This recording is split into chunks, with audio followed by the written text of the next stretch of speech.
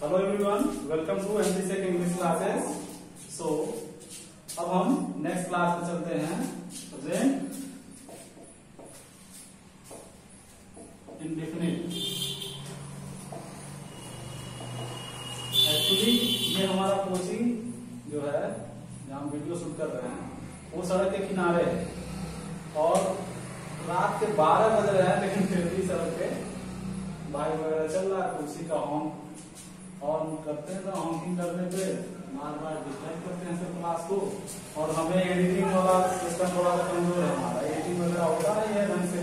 जो extra noise है, वो मिक्स रहता है। तो बच्चे भी कंप्लेन करते हैं इनका जो एक्स्ट्रा नॉइज़ है, वो ज़्यादा है, कुछ कम कीजिए। क्या करना समझ में नहीं आता। है ठीक है, चलिए। प्रेजेंट इंडेफिनिट में हम क्या करेंगे? वर्ड का फ़र्स्ट फॉर्म यूज़ करते हैं। ठीक?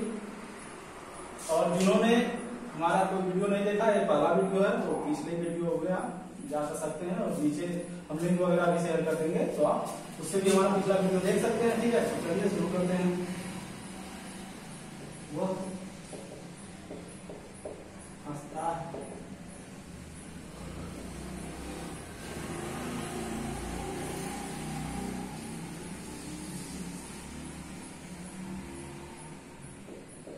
सीता की बहन रोती है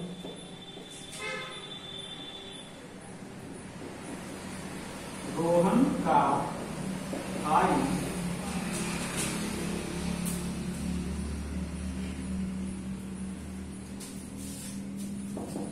पढ़ता है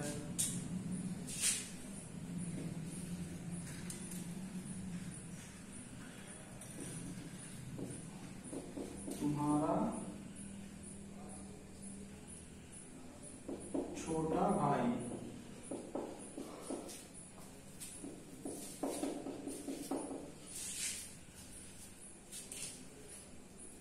अंग्रेज़ी पढ़ता है। वह ये सिंगुलर हो रहा है अब इसमें प्लूरल वाला भी लिख दे रहे हैं हम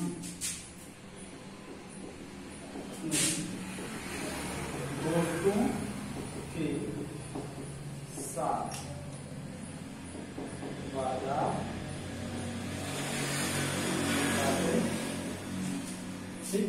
तो देखिए कुछ सेंटेंसेस हैं, वह हंसता है, सीता की बहन रोती है, रोहन का भाई पढ़ता है, तुम्हारा छोटा भाई अंग्रेज़ी पढ़ता है, हम अपने दोस्तों के साथ बाज़ार जाते हैं।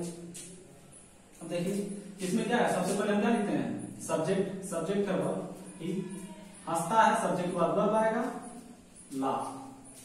हमने पढ़ा हमें क्या लिखना है? वर्ब का फ़र्स्ट फॉर्म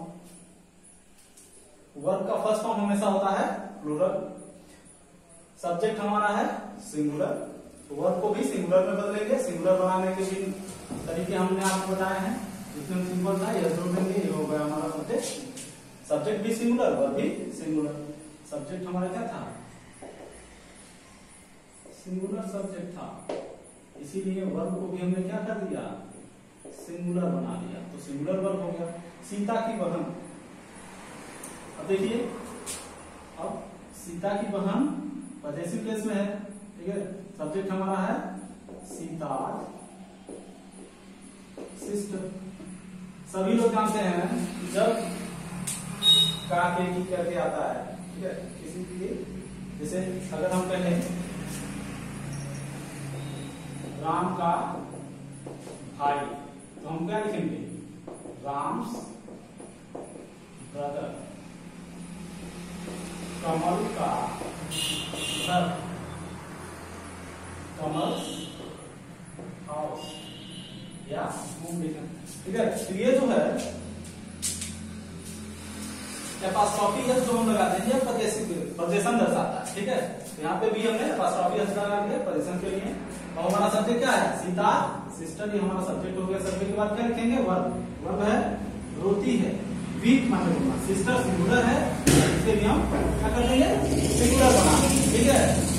लेकिन रोहन का भाई, यहाँ पे भी सजेशन दिखाना पड़ेगा, रोहन ब्रदर क्या करता है? पढ़ता है। रीड वर्ड का फ़र्स्ट फॉर्म हो गया। ब्रदर सिंगुलर है, इसीलिए इसको भी सिंगुलर में बदल दिया रीड्स तुम्हारा छोटा भाई, जो छोटा के लिए हम क्या यूज़ करते हैं? Younger brother your younger brother क्या करता है? पढ़ता है। रीड अब देखिए ब्रदर सिंगुलर है, इसे भी हम सिंगुलर में बदलेंगे, यह जोड़ दिए। क्या पढ़ता है? इंग्लिश हो गया। हम. सब्जेक्ट क्या है? वी अब देखिए सब्जेक्ट हमारा प्लूरल है। वर्ब क्या है? जाते हैं। वर्ब हमने लिख दिया ठीक। अब कहीं जाने के लिए हम क्या प्रीपोजिशन यूज़ करते हैं?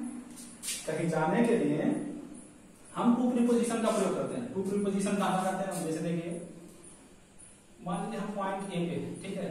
और हमें जाना है पॉइंट बी की तरफ़।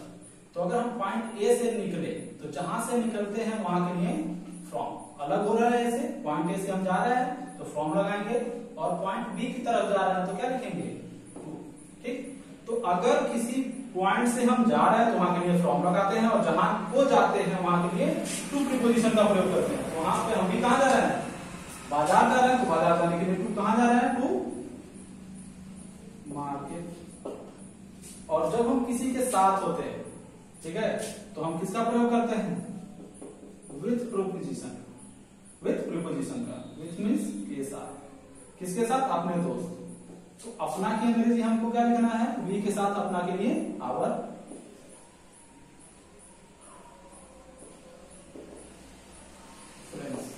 ठीक? अब देखिए, हम कुछ बच्चे होंगे ऐसा तो यहाँ पे आवर है। तो उसके लिए समझ नहीं पाते हैं कि वी के साथ आवर लिख दिया ही के साथ लिखना पड़ता है, सी के साथ हर लिखना पड़ता है आई के साथ माई लिखना पड़ता है। तो उसके बारे में हम थोड़ा सा बता दे रहे हैं बच्चों कि कैसे लिखना है ठीक है बेसिकली अपना का मतलब वो पजेशन दर्शाता है, ठीक है? तो सब्जेक्ट के रूप में अगर आई हुआ वी हुआ यू हुआ ही हो गया सी हो गया, और इट हो गया, और लास्ट में बचा ही का मतलब अगर कोई सिंगुलर नाउन हो, और जैसे हो गया बॉय लड़का हो लड़के का नाम आ जाए तभी ही मानेंगे सी का मतलब कोई लड़की का नाम हो या सिंगुलर नाउन होगा, जो फेमिनिन जेंडर हो। तो उसके लिए, जैसे मान लीजिए यहाँ पे सीता हो जाएगा, वो भी हो जाएगा, ठीक है? तो सबके लिए उसमें क्या लिखते हैं? सी और लड़का है, लड़के का नाम है तो उसके लिए हम ही यूज़ करेंगे। और अगर आ गया अपना अपना का मतलब पजेशन दर्शाने के लिए तो हम क्या करेंगे?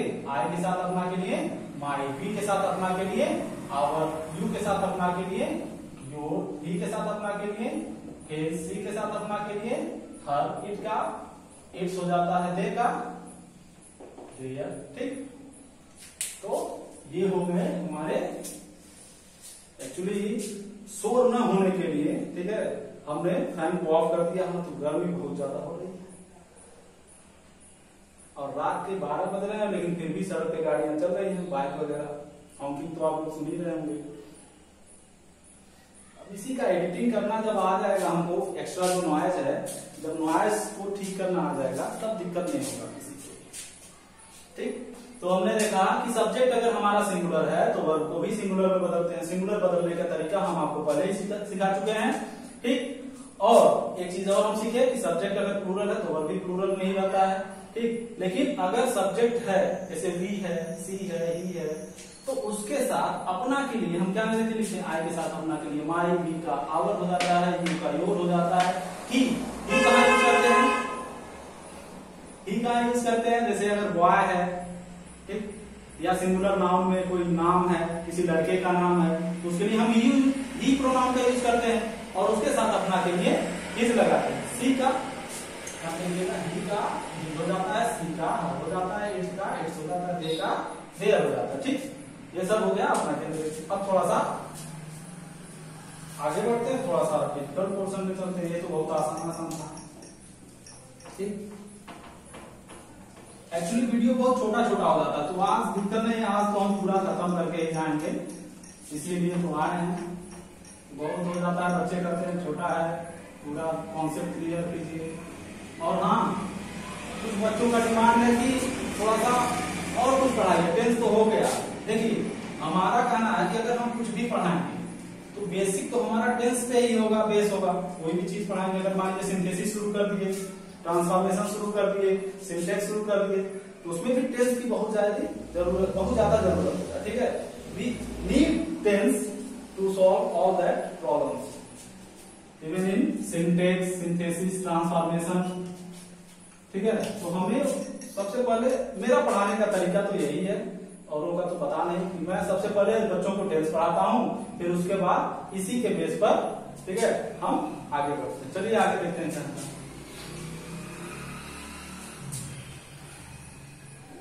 मैं तुम लोगों को अंग्रेज़ी पढ़ाता हूँ। मैं सब्जेक्ट है आई सब्जेक्ट हो गया सब्जेक्ट के बाद क्या आएगा? वर्क टीच वर्क के बाद क्या आएगा? ऑब्जेक्ट अगर हम यहाँ ध्यान से देखेंगे तो तुम लोगों को भी ऑब्जेक्ट है और इंग्लिश भी ऑब्जेक्ट है हमने बताया था कि ऑब्जेक्ट की पहचान कैसे करते हैं? ऑब्जेक्ट की पहचान होती है क्या और किसको करके। तो हम किसको पढ़ाते हैं? तुम लोगों को। यू हो गया। क्या चीज़ पढ़ाते हैं? अंग्रेज़ी। हो गया। दोनों सेंटेंस कंप्लीट अब देखिए, कुछ ऐसे एडवर्ब्स होते हैं जिनको जैसे हो गया ऑलवेज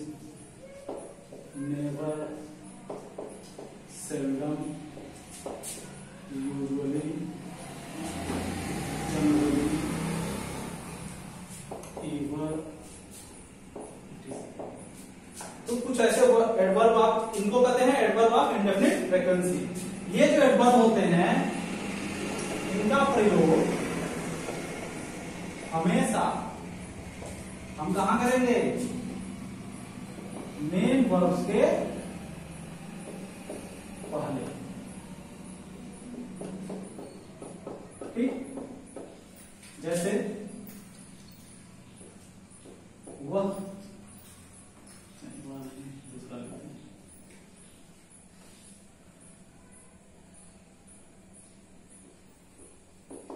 रमेश का भाई सदैव सत्य बोलता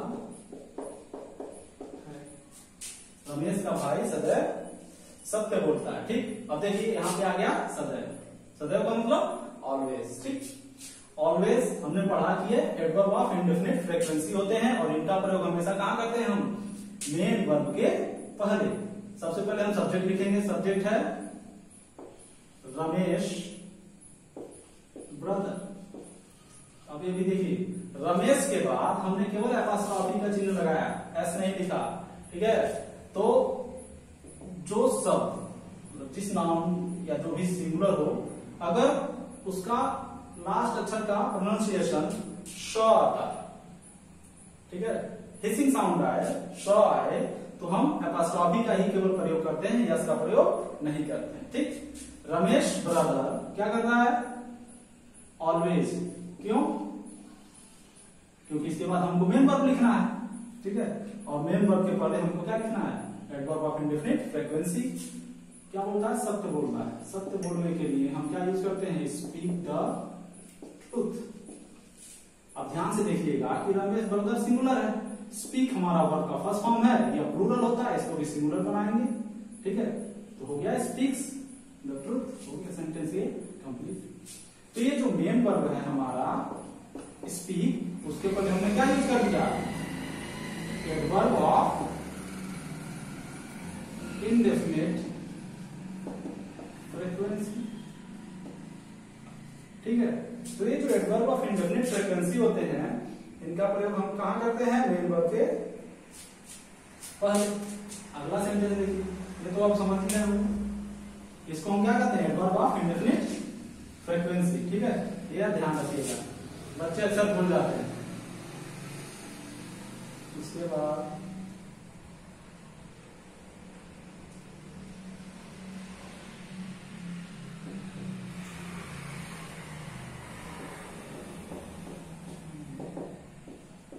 सो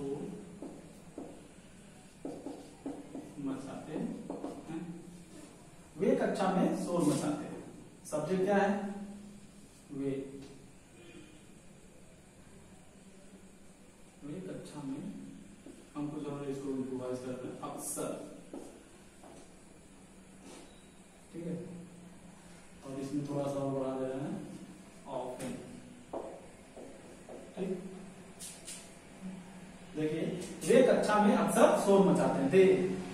सब्जेक्ट हो गया सब्जेक्ट के बाद आ गया हमारा ऑफन अक्सर का मतलब क्या होता है? ऑफन शोर मचाना। मेगा नॉइस ठीक? अब ये तो मेगा नॉइज़ हमारा है वर्ग है वर्ग के पहले हमने क्या लिख दिया है? वर्ग ऑफ़ इंडेफिनिट फ्रीक्वेंसी कहाँ शोर मचाते हैं? इन द क्लास ठीक? अब कुछ पॉइंट वाली बात और हम लिख देते हैं। अगला पॉइंट क्या है? अगला पॉइंट हमको ध्यान रखना है कि अगर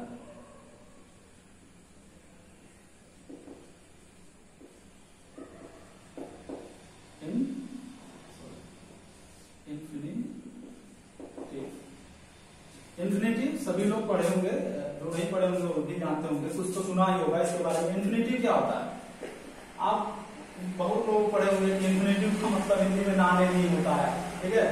तो हिंदी में तो सही है चलिए हिंदी में हमने क्या लिख दिया? ना, ने इसकी पहचान होती है। लेकिन अभी आप पढ़े होंगे, अगर तो जानते होंगे कि जीरण का भी पहचान ना लेनी से ही होता है। तो हम कैसे पहचानेंगे कि यह इन्फिनिटिव है या जीरण है? तो ध्यान रखिएगा इन्फिनिटिव हम, हमको हमेशा क्या दर्शाता है? पर्पज तो अगर वाक्य में कोई ऐसा शब्द है जिसमें नाने नहीं आ रहा है, और उस शब्द से हमें पर्पज का पता चले उद्देश्य का। ठीक है? तो उस शब्द को हम किसमें बदलेंगे? इन्फिनिटी में। और इन्फिनिटी में बदलने के लिए हम क्या करते हैं? टू प्लस बेस फॉर्म ठीक? टू प्लस बेस फॉर्म जैसे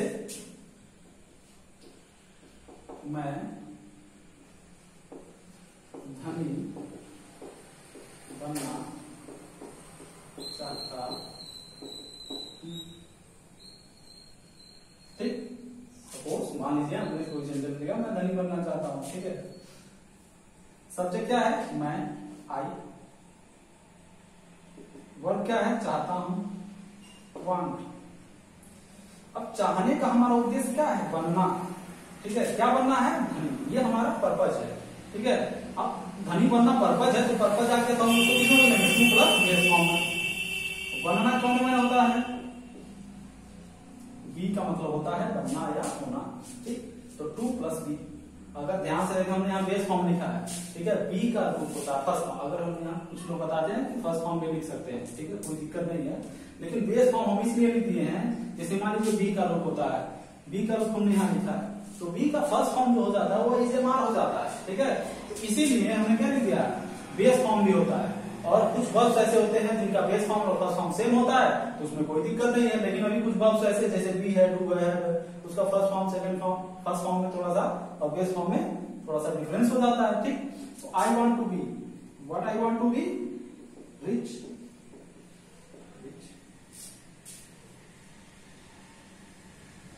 अगला देखते हैं।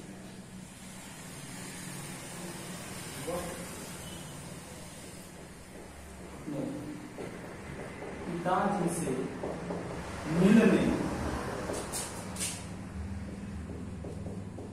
आगरा जाती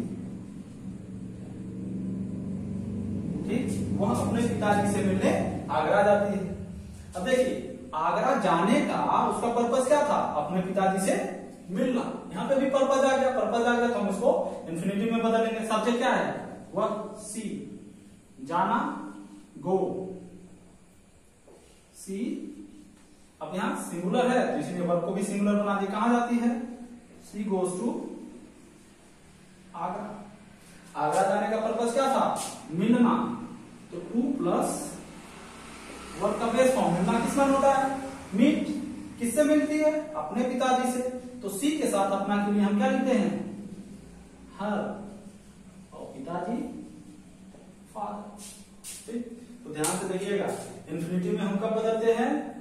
जब पर्पज दिखिए ठीक है? अगर वाक्य में पर्पज है, ठीक? तो पर्पज जिस शब्द से प्रकट हो, उस शब्द को हम किसमें बदल लेते हैं? इन्फिनेटिव में। ये हमारा इन्फिनेटिव हो गया। ठीक? टू बी हमारा क्या हो गया? इन्फिनेटिव हो गया। अब देखिए, हमने पढ़ा कि एडवर्ब ऑफ़ इंडिफरेंट फ्रीक्वेंसी का यूज़ कहाँ करते हैं? मेन वर्ब से पहले। इन्फिनेटिव अगर वाक्य में हो तो इन्फिनेटिव को हम कैसे बदल देते हैं? टू प्लस बेस फॉर्म या फ़र्स्ट फॉर्म भी कर सकते हैं। जिनका बेस फॉर्म और फ़र्स्ट फॉर्म दोनों सेम हो तो चाहे बेस फॉर्म कहिए या फ़र्स्ट फॉर्म कहिए। ठीक? इसको इन्फिनेटिव कब बदलते हैं जब पर्पज हो उद्देश्य होगा तभी आप इन्फिनेटिव में बदलेंगे ठीक?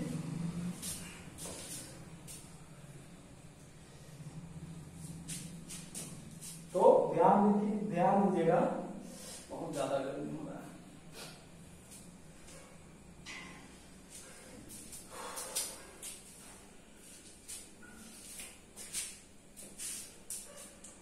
ठीक तो यह समझ में आ गया। अब आगे बढ़ते हैं। ठीक है? कि जब इंफिनिटी हो इंफिनिटी में कब बदलेंगे जब? पर्पज उद्देश्य होगा तो हम इंफिनिटी में बदल देंगे।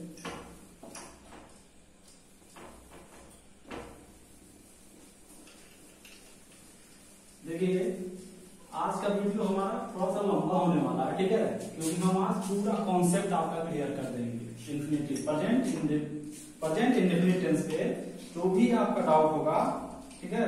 वह आज क्लियर होता है। लेकिन कब? आप कॉन्सेप्ट बेस पे पढ़ेंगे तब। लॉजिक से पढ़ना चाहिए। जैसे अभी मान लीजिए कुछ बच्चे रहते हैं कि कुछ बच्चे क्या भी, हम भी जैसे हमारा भी था, जब हम भी हाई स्कूल इंटर में थे तो हम भी रूम से ही पढ़े हुए थे, ठीक है? लेकिन फिर उसके बाद दिल्ली चले गए, फिर सारा मामला चेंज हो गया। तो आधी है बच्चे रूम से ही पढ़ते हैं। लेकिन अगर हम चीज़ों को लॉजिकल समझें, जैसे हम सभी जानते हैं कि हिंदी पढ़ने के लिए या हिंदी सीखने के लिए हमने आज तक कभी कोई रूल नहीं पढ़ा। कभी भी कोई रूल नहीं सीखा। लेकिन इंग्लिश में हर एक कदम पे हमको रूल पढ़ना पड़ता है। क्यों? वही हमको जानना है। आखिर क्या है? लोग लॉजिक से क्यों नहीं पढ़ना चाहते? हो सकता है कि समझा ना पाए, या बच्चे भी कुछ होता है, अपना दिमाग नहीं चलाना चाहते। हैं ठीक है? बच्चों का भी होता है कि वो अपने जैसे देखिए हमने क्या बच्चों का दिमाग क्या है? ह्यूमन माइंड या किसी के भी, एक नवजात शिशु है, उसका दिमाग जो है ब्लैंक स्लेट की तरह होता है। ठीक है? उस ब्लैंक ब्लैंक स्लेट पे हम जो चाहे वो फिल कर सकते हैं। लेकिन क्या है, अभी हम बच्चों को ऐसे तरीके से शिक्षित कर रहे हैं, पढ़ा रहे हैं जिसके हम उसके सोच को बाँध दे रहे हैं, एक बक्से में बंद कर दे रहे हैं, ठीक है? तो जब वो बच्चा आउट ऑफ़ द बॉक्स नहीं सोचेगा तो अपने, अपना दिमाग कैसे चलाएगा? हमने कहा, बेटा, तुमको यहीं तक सोचना है। ठीक है? इसके आगे तुमको इसके बाद सोचना ही नहीं। कि वर्ब का फ़र्स्ट फॉर्म है वर्ब का फ़र्स्ट फॉर्म यूज़ करना है। लेकिन क्या बोलते हैं कि वर्ब के फ़र्स्ट फॉर्म में अगर सिंगुलर सब्जेक्ट आ जाए तो ऐसे एस जोड़ दो। क्यों जोड़ दो? ये तो बताते नहीं है। और ना ही वह बच्चा सीखना चाहता है या ना ही वो कभी क्रॉस क्वेश्चन करता हाँ। टीचर लोगों का है कि क्रॉस क्वेश्चन करोगे तो हो सकता है पूछे जाओ। तो बच्चे इस वजह से भी डरते हैं। और यहाँ पे है, अलग ही लफड़ा चलता है। तीस नंबर के लिए बच्चे पागल हुए फिरते हैं तीस नंबर सर के पास से पढ़ेंगे तो तीस नंबर हमारा मिल जाएगा। पता नहीं उस तीस नंबर से क्या फ़ायदा है। तुम लोगों को नॉलेज के पीछे भागना चाहिए कि कहाँ तुमको नॉलेज मिल रहा है। और ज्ञान कहाँ मिलता है? जहाँ पे तुमको बाँध के न रखा जाए, किसी भी चीज़ के लिए। अगर तुम वहाँ पे क्रॉस क्वेश्चन नहीं कर पा रहे किसी भी टीचर से तो समझ जाओ कि बेटा यहाँ तुम पढ़ने लायक नहीं क्यों? क्योंकि मेरा मतलब ये नहीं था कि क्रॉस क्वेश्चन का मतलब कि तुम पूछो ही मत या पूछते ही रहो। अगर तुम्हारे सारे क्यूरीज तुम्हारे सारे जो डाउट्स हैं, वो टीचर खुद ब क्लियर कर दे तो पूछने का सवाल ही नहीं है। हाँ जहाँ पे नहीं हो रहा तुम्हारे डाउट्स क्लियर तो वहाँ से तो निकल लो, फिर दूसरा कोचिंग देखो। ठीक है? बच्चों का क्या है कि एक ही जगह जाके स्टक हो जाते हैं, चाहे समझ में आए, चाहे ना आए। क्यों? क्योंकि वहाँ पे पुराने पुराने टीचर हैं। भाई, बच्चा पढ़ा है, उसके भैया वहीं से पढ़े हैं, उसके अंकल वहीं से पढ़े हैं तो भी वहीं से पढ़ना चाहता है। लेकिन कोई ज़रूरी नहीं है कि आप वहीं से पढ़े हो। सकता है कि कोई दूसरा टीचर आया, कोई नया आया मैंने ऐसा ही में चाहा ठीक? तो आप एक बार जाके ट्राई कीजिए। हो सकता है आपको कुछ ज़्यादा बेहतर समझ में आए। तो ये तो आउट ऑफ़ द बॉक्स हमेशा सोचना चाहिए। हमेशा अपने दिमाग को ओपन रखो। आँख, कान, नाक हमेशा खुले रखो जब पढ़ते समय। और दिमाग को एकदम, ठीक है आउट ऑफ़ द बॉक्स सोचोगे आउट ऑफ़ द बॉक्स करोगे, तभी कुछ पॉसिबल है। अब आगे बढ़ते हैं हम।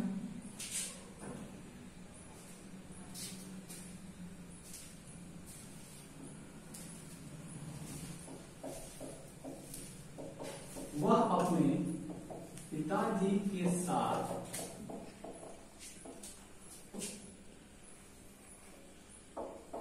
अपने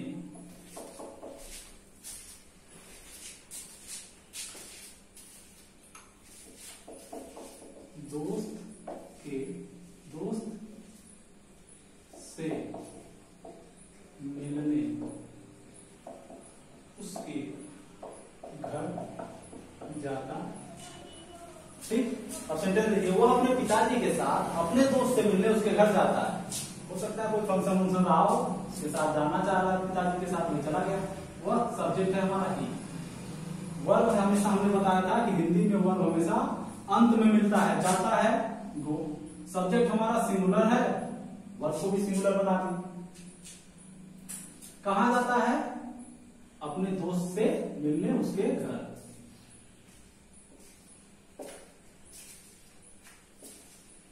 to his friends. home क्या करने? होम क्या करने जाता उद्देश्य क्या था? To meet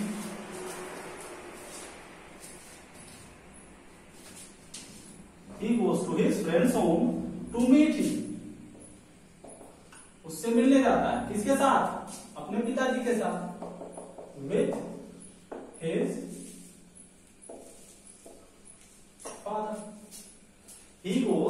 friend's home to meet him with his father. अगला सेंटेंस देखिए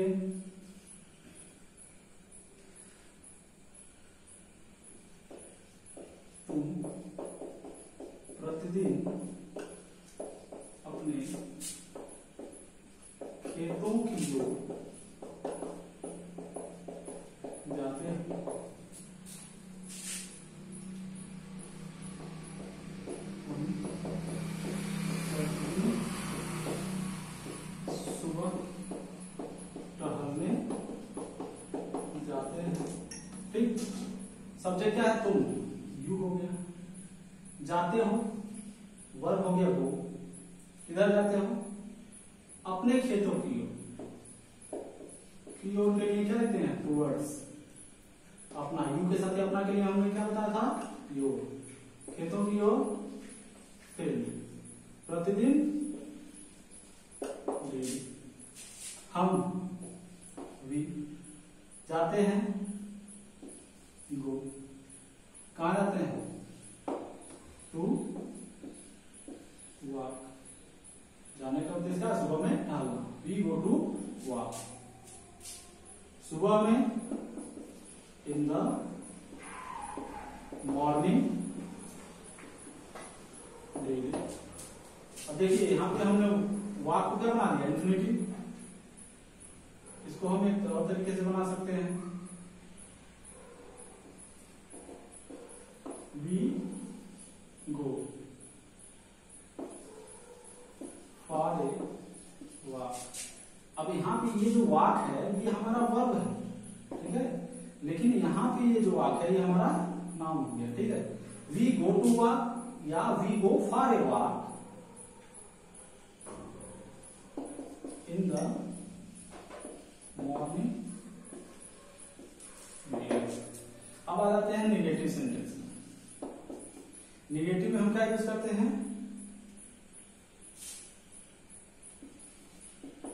निगेटिव में हम क्या यूज़ करेंगे हेल्पिंग वर्ब के रूप में?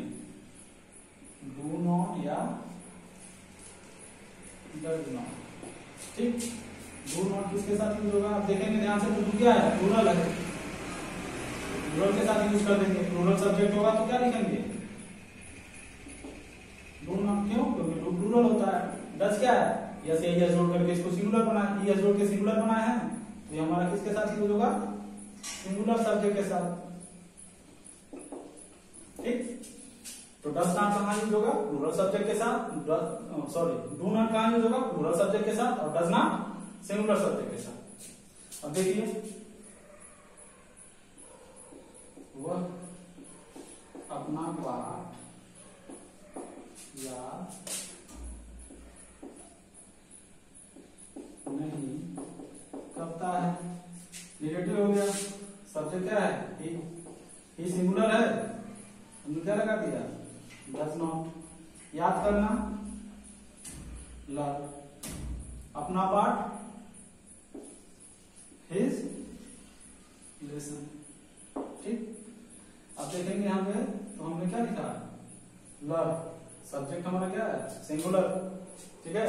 तो एक बात और एक पॉइंट यहाँ पे हम बता दे रहे हैं आपको। बता दे रहे ठीक है? पॉइंट है हमारा क्या? कि अगर वाक्य में कभी टू डज या डी डाल जाए तो इसके बाद हमेशा हम क्या यूज़ करते हैं? वी वन यूज़ करते हैं। ठीक? वाक्य में कभी भी अगर टू डज या डी डाल जाए तो उसके बाद हमेशा हम वर्ब का फ़र्स्ट फॉर्म यूज़ करते हैं। ये बात हमेशा याद रखिएगा। किसी भी टेंस में कोई भी सेंटेंस हो, अगर टू डज डी आ गया तो हमेशा वर्ब का फ़र्स्ट फॉर्म यूज़ करेंगे। ठीक? तुम प्रतिदिन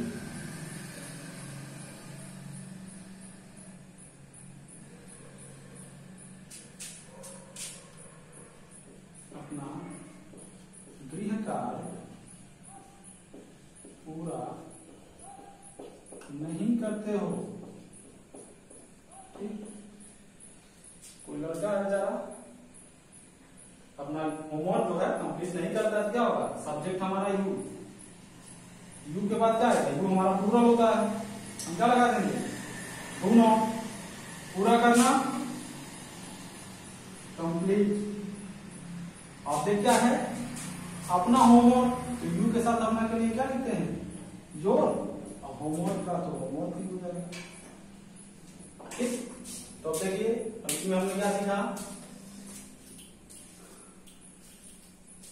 निगेटिव आने पे प्लूरल सब्जेक्ट के साथ डू नॉट लगाते हैं सिंगुलर सब्जेक्ट के साथ डज नॉट देखिए सब्जेक्ट है वह ही डज नॉट लगा दिए। और यहाँ पे सब्जेक्ट है यू तो